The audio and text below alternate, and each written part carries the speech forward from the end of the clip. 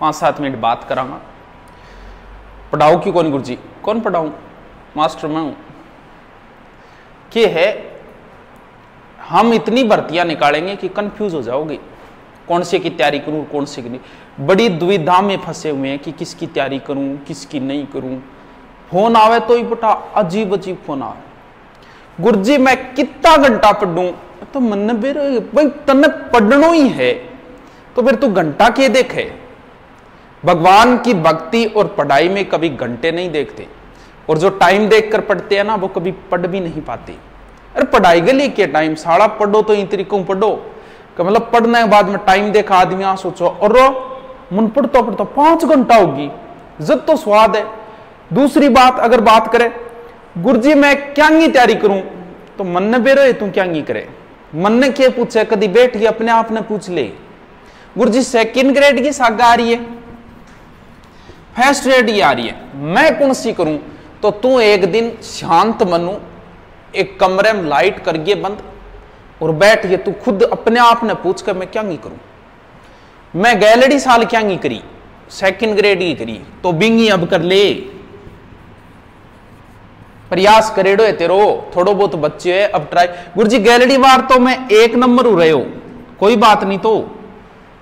लगभग नब्बे प्रतिशत बच्चे एक बार मंजिल के नज़दीक जाके ज़रूर रहते हैं। एक बार गए, उसके जस्ट बाद सीधे अंदर। सबके साथ होता है, तू कोई दुनिया को, न्यारो को नहीं। अब आ मान ले कि तू एक नंबर रहे तो अगली बार तो तू निश्चित ही माए कोई रोकनी ही, कौन तन? तो बाई करनी कि तू पीछे तैयारी करिए तो गुरुजी, एलडीसी की और राजस्थान पुलिस में कौन सी करूँ? दोनों कर लियो। हो गया तो इतो बड़ो दोनों कर लियो। ये एक में लग गया रहा तो भी मेहनत करनी पड़े। तू दोनों, तीनों, चारों। महाभारत के युद्ध के समय की बात है। अर्जुन का पुत्र था अभिमन्यु। कुरुक्षेत्र के युद्ध में मारा गया। शाम को अर्जुन पहुँचा। पूछा कि भी किस वजह से मारा गया? तब जयदर्थ ने कहा, तब युधिष्ठिर ने कहा कि जयदर्थ की वजह से मारा गया। जयदर्थ ने हमें चक्रव्यूह के अंदर नहीं घुसने दिया अभिमन्यु की मौत का जिम्मेवार जयदर्थ है।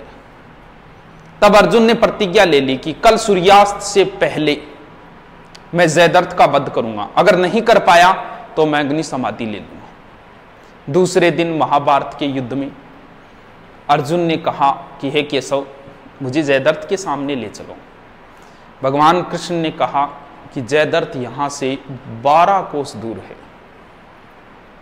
तुम्हें प्रतिज्ञा करने की कहाँ ज़रूरत थी अर्जुन? तब उसने कहा कि, हे केशव, क्या जयदर्थ मरने के योग्य नहीं था? हाँ था। फिर भी प्रतिज्ञा में हाथ बांधने की कहाँ ज़रूरत थी? कभी तुमने यह कहा था कि मेरी नज़रें सिर्फ़ चिड़ी की आँख पे हैं। आज इस युद्ध में तुम्हारा आधा ध्यान जयदर्थ पे रहेगा और तुम्हारा आधा ध्यान सूर्य पे रहेगा। तुम लक्ष्य से भटक गए हो अर्जुन। अगर उस युद्ध में अगर कृष्ण अपना चमत्कार ना दिखाते तो साई जयदर्थ नहीं मारा जाता, क्योंकि अब उसका आधा ध्यान एलडीसी पे था, आधा राजस्थान पुलिस पे था। तैयारी एक कर, मैं ये नहीं कहता कि तू एलडीसी की तैयारी कर रहा है, राजस्थान पुलिस का पेपर न दे, हाँ दे भाई। क्योंकि एलडीसी से तो छोटा सिलेबस है, एलडीसी के अंदर आ गया राजस्थान पुलिस। लेकिन मैं ये नहीं कहूँगा कि आई लागे रे आई लागे तैयारी ये कर एलडीसी की कर, भले सेकंड ग्रेड की कर तो भी एलडीसी की दे सेकंड ग्रेड कर तो भी राजस्थान पुलिस की दे एसआई की दे। ये सरकारी नौकरी है, जहाँ लगो वहीं चिप जाओ। लेकिन ये नहीं कहता कि दोनों साथ में जारी रख। तैयारी एक रखनी है पेपर चाहे सारे देते रहो। कुर्जी के टाइप हूँ पढ़ू? हाँ आज आई बात है पढ़ाई, आदो ही तो यही समझ में कौन आँख भाई पढ़ू के टाइप हूँ। बिल्कुल तेरी बात सही बताऊँगा क्या? प्रयोग हमेशा छोटे छोटे करो ज़िंदगी में। हम लोगों की आदत होती है, हम बड़े प्रयोग करते हैं। प्रतिज्ञा लेते हैं, आज गए बाद में, मैं कभी चाह कौन पीऊं? तो भाई तेरू कौन रही जैसे तू इतनी लंबी प्रतिज्ञा करे क्यों? आपन छोटा छोटा प्रयोग करना है। तुम मत करो, ज़िंदगी भर के लिए चाह नहीं पीऊँगा, नहीं। कभी बस ये कर लेना कि मैं कल कल चाय नहीं पीऊँगा, बस ओनली फॉर कल के लिए। एक दिन तो कर सकते हो। कर सको नहीं, एक दिन तो कर सको। फिर एक दिन ये सोचना कि मैं रोज छत पे जाके बैठता हूँ आधे घंटे, कल नहीं बैठूँगा। आप नहीं बैठे, गुरुजी के होगो? की को नहीं मान लो आपको जर्दा खाने की आदत है। मैं ये नहीं कहता जर्दा हमेशा के लिए छोड़ दो, कोई बात नहीं, आदत है आपको। सिर्फ़ एक दिन। ये सोचना कि मैं आज आज के लिए जर्दा नहीं खाऊँगा। और उस प्रयोग में आप सफल हुए। गुरुजी के होगो की को नहीं एक दिन बस में बैठे बैठे ये सोच लेना कि आज मैं बारह कौन देखूँ? और एकदम ध्यान, बारह तो जान ही कौन दू? क्यों खिड़की मादा तो खिड़की के हिसाब में बैठे उबेरो ये और आप सफल हुए उसमें। फिर गुरु जी के अब अगर आपने ये छोटे छोटे प्रयोग किए हैं, जैसे कई लोग कहे, यार, वो डाइटिंग को नहीं हुए अरे तो डाइटिंग तू चार रोटी खाए तो सीधी एक रोटी पर क्यों आवे? बस इतना ही प्रयोग करें, मैं आज शाम को चार की जगह तीन ही रोटी खाऊं। या कई बार कहेगा, मेरा वेट ज़्यादा हो जाए तो मैं आई करूँ? कोई मैं रोटी खाना नहीं छोड़ता। चार की जगह मैं तीन ही। मैं गरगान को देखो, रोटी आज तीन ही लिया देनी है। मैं रोगे मर जाऊँ, लिट जाऊँ पर थे चौथी रोटी ना लाई दी बस एक ही दिन के लिए। फिर क्या हो गुरु जी बहुत कुछ। अब पढ़ाई के लिए बैठना, प्रतिज्ञा ये करना कि आज मैं सिर्फ़ और सिर्फ़ एक ही घंटे पढ़ूँगा। ओनली फॉर एक घंटे। अगर आपने वो छोटे छोटे प्रयोग किए हैं तो आज आप एक घंटे बैठ के पढ़ लोगे। वरना नहीं पढ़ पाओगे।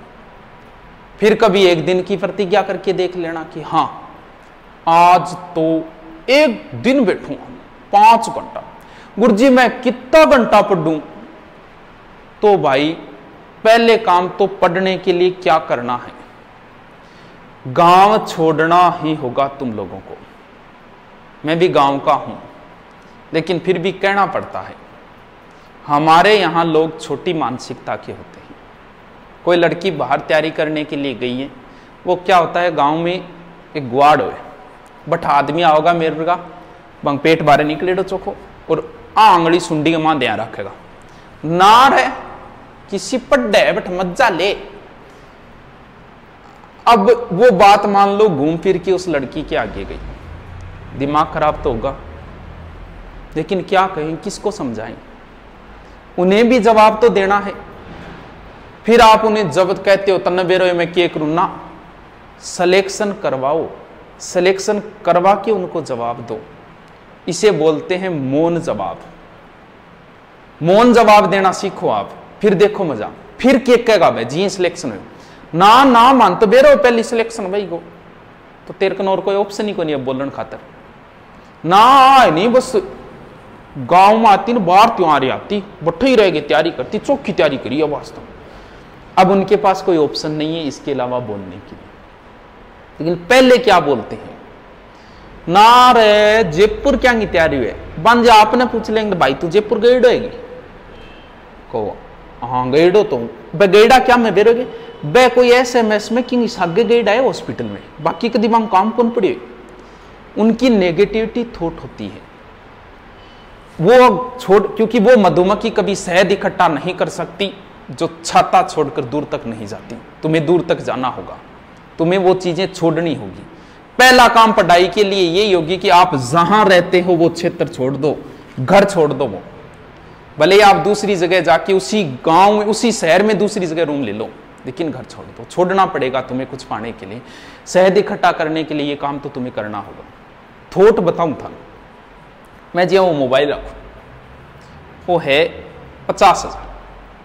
मैं गाँव में कदी की नहीं बताऊँ को नहीं मन अगर कोई पूछ लेनी कि वो मोबाइल कितना गए मैं मान के को ना हो पाँच हज़ार तो पूछवा क्यों गुरु जी अगर मैं बना के दिन पचास हज़ार गए तो बेरो एक एक कहेगा, एक तो सिस्कारो मारेगा।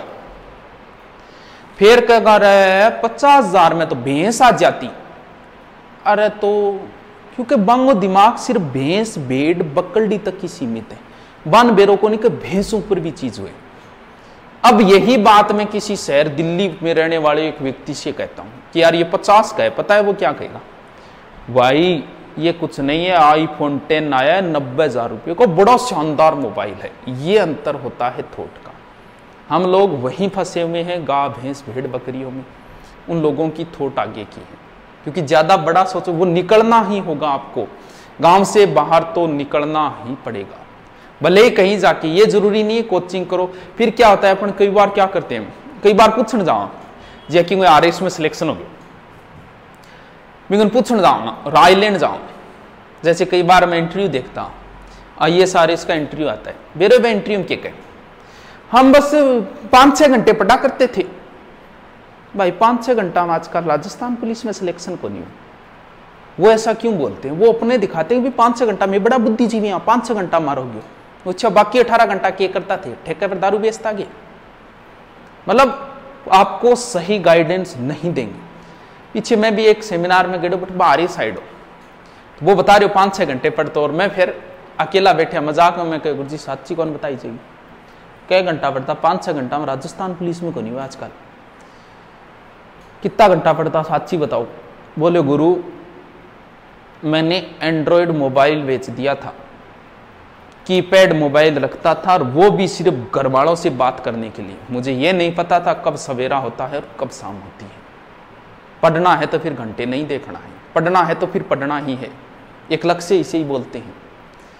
कुछ कई बार गाँव भी छोड़ दिया, शहर भी चले गए। फिर भी को नहीं हो रही। तो फिर तेरे पास ऑप्शन बचा है लाइब्रेरी। एक बार लाइब्रेरी का प्रयोग और कर ले। लाइब्रेरी से आपकी सीटिंग पावर बनेगी। हम लोगों की सीटिंग पावर है ही नहीं। हमने दस यू में बैठे थे, बस पाँच छह घंटे, उसके बाद तो कभी के एक जगह बैठे ही को नहीं। सीटिंग पावर थोड़ी बहुत तो बनानी पड़ेगी आपको। अब बात आती है, क्या कहते छोटा छोटा प्रयोग। छोटा प्रयोग में क्या कर? हम क्या करते हैं, जैसे हिस्ट्री पढ़नी शुरू करनी है, बस पूरी सल्टा दी, एक दिन मेवाड़ मारवाड़, रगड़ दिया साढ़े एक चीज़ का ध्यान रख लेना। इस बार अगर ध्यान से पढ़ाई नहीं की तो दोबारा यही चीज़ें पढ़नी होगी। यही मेवाड़ आएगा तुम्हारे सामने, यही मारवाड़ आएगा, यही राठौड़ आएँगे, यही सिसोदिया आएँगे, यही चौहान आएँगे। वही महाराणा प्रताप, वही हल्दी घाटी का युद्ध पंद्रह सौ वही इधर मान सिंह सेनापति, वही इधर महाराणा प्रताप। सारी चीज़ें वो की वो दोबारा आएगी तुम्हारे सामने। कई बार जी आप सुत्या सुत्या सुत्या हम हुए। एक माछरा हो। कर करके वो नज़दीक आओ आवाज़ दे। आपा बिन अलग कर दिया। थोड़ी देर बाद घूम फिर गए वो और आ जाओ, भू करते हो फिर आप नाक कर दिया, पन्ने बड़े रहे। तीसरी बार वो फिर आएगा। अब अपनी बीपी आई जी तेरी तो घंटा होगी। ऐसा क्यों? ये चीज़ें तुम्हारे सामने दोबारा आएगी। यही जो पढ़ रहे हैं ना आप, नदियाँ, भौतिक प्रदेश, राजस्थान के ज़िले, ये महाराणा प्रताप, ये हिस्ट्री ये सारी की सारी चीज़ें तुम्हारे सामने दोबारा आएगी। तो एक कर रट रट आगे छुटाओ नहीं गए ले। जो चीज़ पढ़ रहे हो उसे तो एक चीज़ को उठाओ कभी। क्यों उठाओ लंबो चौड़ो? बस एक टॉपिक उठाओ कि आज मुझे सिर्फ़ और सिर्फ़ महाराणा प्रताप ही पढ़ना है। मुझे मतलब नहीं महाराणा प्रताप के पिता उदय सिंह ने क्या किया? मुझे नहीं पता महाराणा प्रताप के पुत्र अमर सिंह ने क्या किया। भले ही इस एक टॉपिक में मुझे एक घंटा लगे, पाँच घंटा लगे, एक दिन लगे या एक महीना लगे, लेकिन पढ़ूँगा ही किसी एक टॉपिक में एक घंटे से ज़्यादा नहीं लगता। लेकिन इस तरीके से कि दोबारा पढ़ना नहीं पड़े, सिर्फ़ और सिर्फ़ रीडिंग मारनी पड़ी। अब समस्या दूसरी रट गए तो एक बार तो सड़न छोड़ दियो रट गए नदी पड़ी तो गंगा नदी साड़ी रट के मारती लेकिन दोबारा उसको नहीं छेड़ा। हमारे दिमाग में 24 घंटे बाद भूलने की प्रक्रिया शुरू हो जाती है। अगर उस टॉपिक को आपने 24 घंटे में दोबारा एक बार नहीं पढ़ा तो कोई औचित्य नहीं हटने इतना बड़ा विद्वान हो गए थे। विवेकानंद हुए थे, एक पडेड़ थारे याद रहे। विवेकानंद जी गए तो एक पडेड़ो थारे कौन रहे? दुनिया के किसी आदमी को नहीं रहता। 0.01 परसेंट ऐसे लोग होते हैं जिनके एक बार पढ़ी हुई चीज़ याद रहती जो टॉप में आता है ना मेरिट 70 परसेंट रही सेकेंड ग्रेड की, और जिसने पहली रैंक हासिल की है ना, उसके बने हैं छिहत्तर परसेंट। तो फिर अगर, अब ये मान ले कि इसकी पहली रैंक आई, ये बड़ा इंटेलिजेंट लड़का है। तो भाई, छिंतरी क्यों आया? सोमू सो क्यों को नहीं आया? क्योंकि जो चीज़ एग्ज़ाम में आई है, प्रत्येक चीज़ उसी की पढ़ी हुई थी। रही तो को नहीं याद। पूरी की पूरी चीज़ किसी ही नहीं याद रहती। अब दूसरी समस्या, अगर चौबीस घंटे में एक बार रीडिंग मार ली तो दोबारा आप सात दिन में एक बार मारनी पड़ेगी। फिर भूलने की प्रक्रिया सात दिन तक रहेगी। उसके बाद आपको एक महीने में एक बार रीडिंग मारनी, यानी महीने में आपको कम से कम तीन बार वो चीज़ रीडिंग मारनी होगी। पढ़ा तो सुत्या सुत्या पढ़ा। अरे सुत्या सुत्या कभी पढ़ी जोगे सोई जो सोगे तो पढ़ाई के लिए बैठना पड़ेगा। सो के रीडिंग की जाती है। हाँ पहले का मेरा टॉपिक पढ़ा हुआ है, गंगा नदी। अब तो आराम से रीडिंग मारनी रिलैक्स होके। लेकिन नया टॉपिक पढ़ रहे तब आप सो के नहीं पढ़ सकते। कोई मतलब नहीं सो जा फिर, रहने दे। क्यों माथा बची करे? देखो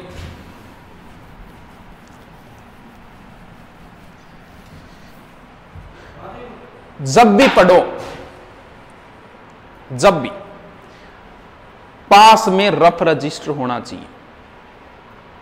कैसे पढ़ना है? रफ रजिस्टर में क्या लिखना है? आपने टॉपिक पढ़ा, महाराणा प्रताप?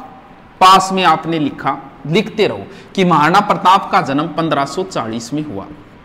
पास में रफ रजिस्टर में लिख दो 1540 महाराणा प्रताप का जन्म कुंभलगढ़ दुर्ग में हुआ। पास में लिख दो कुंभलगढ़। बचपन का नाम किक्का था, लिख दो। क्यों काम की चीज़ तो ये है, बाकी तो कनेक्टिंग वर्ड है। आपने रफ में लिख दिया। अब उसकी रीडिंग कैसे मारनी है? अब क्या करना है? अब आप ये देखो, दोबारा रीडिंग मारो। 1540 में क्यों?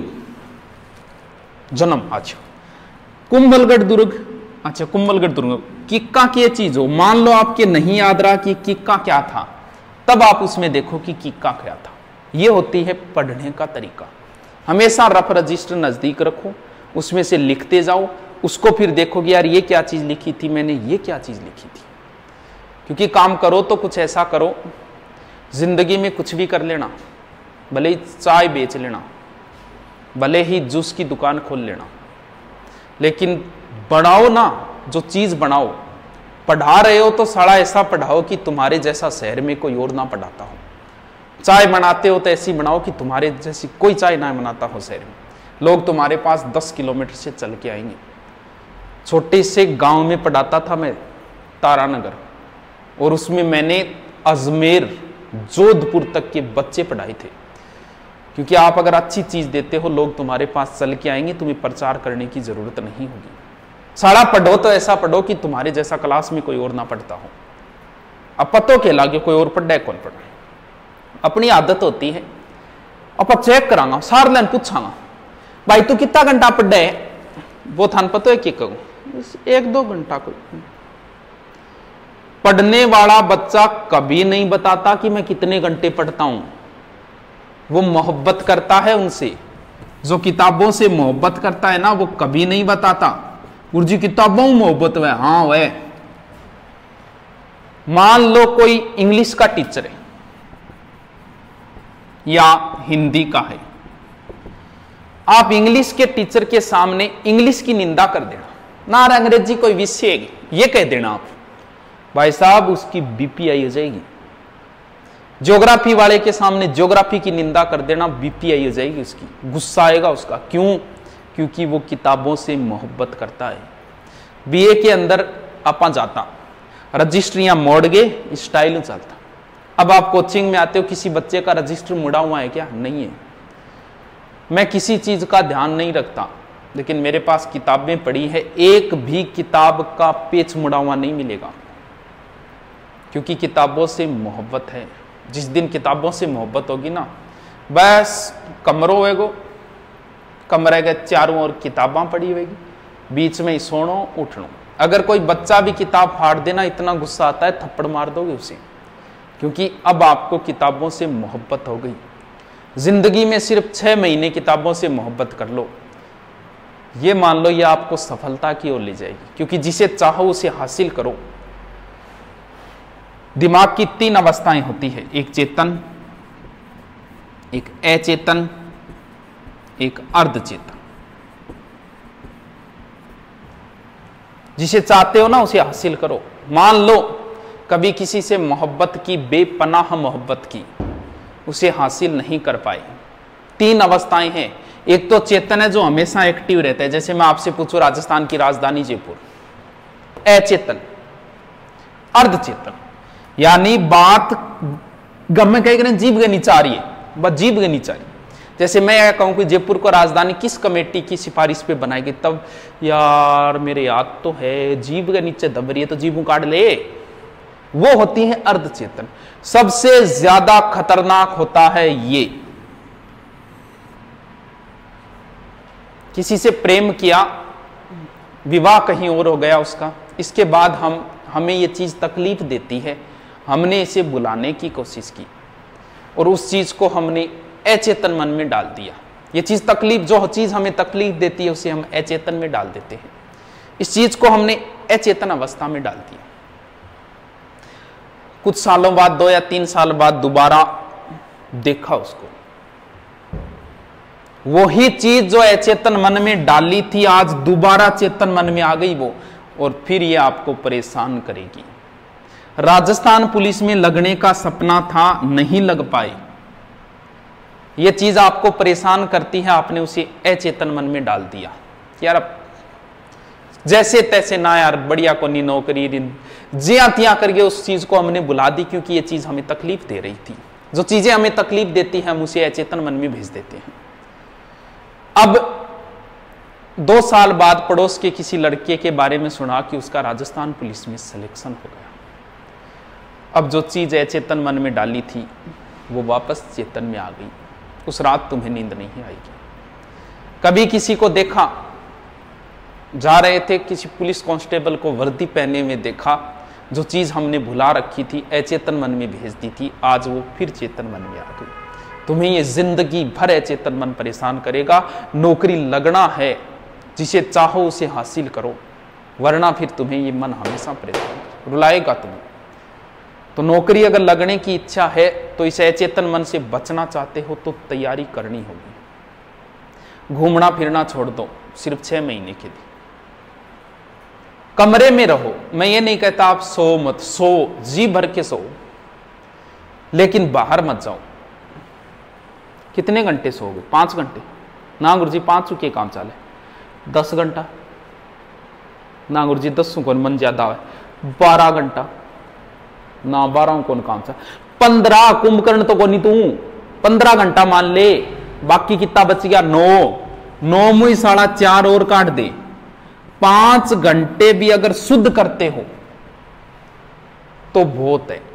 लेकिन घूमना फिरना छोड़ दो। बाहर जाते हो ना, भले एक घंटे के लिए जाते हो, लेकिन आपको पता नहीं चलता, वो आपका तीन घंटे खराब करता है। दोबारा पढ़ाई के लिए सेट होने में टाइम लगता है घूमना फिरना एकदम छोड़ दो। कमरे के अंदर रहो, भले सो कितना ही। गुरु जी दिन के पहले उठ के पढ़ना ज़रूरी है ना, कोई ज़रूरी कौन बिरा?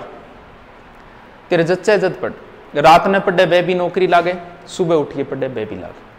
फ़र्क इतना ही है, सुबह आप चार बजे से उठ के सात बजे तक तीन घंटे करते हो तो वो तीन घंटे रात को छह घंटे के बराबर है। इतना फ़ायदा ज़रूर होगा, वरना कोई फ़र्क नहीं पड़ता, दिन में पढ़ो, रात में पढ़ो, कोई फ़र्क नहीं पड़ता। रात को पढ़ने वाले भी नौकरी लगते हैं, दिन में पढ़ने वाले भी नौकरी लगते हैं। जिस दिन लगोगे ना अहंकार में ना सही उस दिन खड़े होके कहना कि कटना पाई किसी से चाल मेरी। लोग देने लगे मिसाल मेरी और वो भी मेरे फेंके हुए जुमलों से काम लेते हैं, जिनसे बंद है बोल चाल मेरी।